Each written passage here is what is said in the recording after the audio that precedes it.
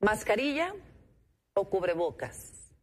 En esta tercera ola de COVID es importante, a pesar de todo este ruido, recordar la importancia de utilizarlo, cuál usar, cómo usarlo, sigue siendo uno de los instrumentos científicamente comprobado fundamentales para evitar contagios.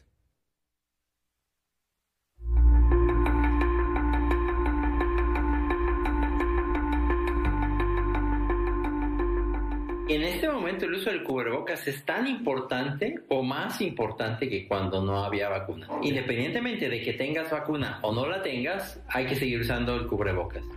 En la tercera ola de COVID-19 en México, el uso del cubrebocas es vital y determinante para frenar la propagación del virus. Por eso es importante recordar cuáles son los más recomendables y cómo se deben portar.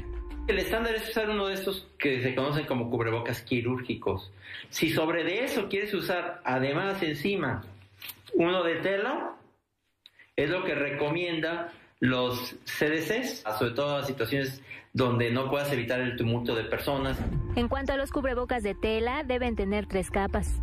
Una interna de material absorbente como el algodón, una intermedia de material no absorbente y que no sea tejido como el polipropileno, y una capa exterior de material no absorbente como el poliéster o una mezcla que lo contenga. El ajuste también es importante. Se debe cubrir nariz y boca y los bordes correctamente pegados al rostro. Si al respirar se infla y desinfla, es un indicador de que está bien colocado. Los cubrebocas de válvula, la OMS los desaconseja pues no sirven para evitar la propagación del virus. Estos son cubrebocas, digamos, egoístas, porque sacan el aire a través de la válvula sin filtrar, entonces te protegen a ti, pero no protege a los demás.